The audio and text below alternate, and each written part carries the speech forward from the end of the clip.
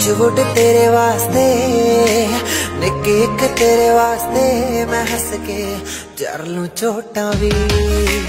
ਤੇਰੇ ਮੇਰੇ ਰਿਸ਼ਤੇ ਨੂੰ ਨਜ਼ਰ ਨਾ ਲੱਗ ਜੇ ਲੋਕਾਂ ਦੀ।